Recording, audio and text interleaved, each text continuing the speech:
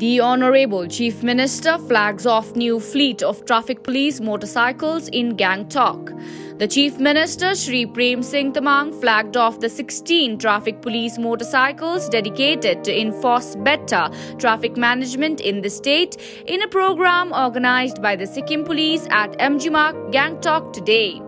During the program, the Chief Minister also launched the Mission Jyoti mobile app designed and created by the Sikkim Police Crime Branch.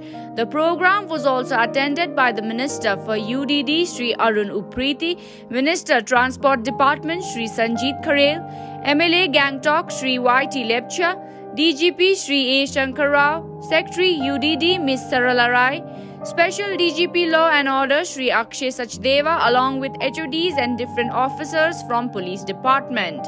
DIG range Sri Prawin Gurung in his welcome speech mentioned the importance of proper traffic management which requires the cooperation of all citizens.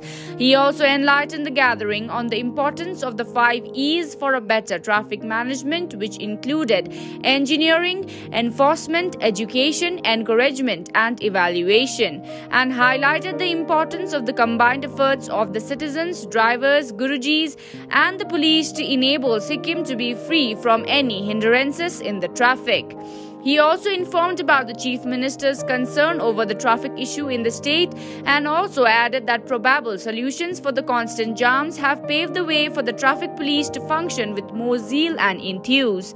He also extended gratitude to the Chief Minister for his valuable contributions towards the Sikkim police efforts in keeping the state of Sikkim safe for all. DIG range also informed that out of the 16 motorcycles, 12 will be for East Sikkim, 2 for South Sikkim, 1 for West Sikkim, and 1 for North Sikkim. SPCID Sri Tenzing Loden Lepcha in his brief address informed about the mobile application which was launched in the program. The Mission Jyoti app is an initiative of Sikkim Police to counter drug abuse, child sexual abuse and suicide. He also informed that the app contains the details of these crimes and how it can be prevented. Important numbers like child helpline, suicide helpline, police control room, etc. are also included in the app which can be accessed by the public through which the complaints can be sent via the app to the police department. Further, the contact details of all SPs, ASPs, SDPOs and SHOs are also included in the app. He informed that the application would be available from 12th January 2021 on Google Play and iOS version will also be made available soon.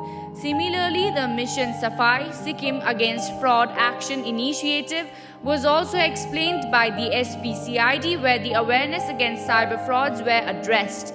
The initiative was developed in order to enlighten and aware the people of Sikkim against possible cyber frauds through videos and messages and how to stop it from happening to anyone. In the program, traffic helpline number 8900295999 was also unveiled which would be working 24 into 7 where citizens can call, send SMS and pictures via WhatsApp of possible traffic violations and actions would be taken promptly.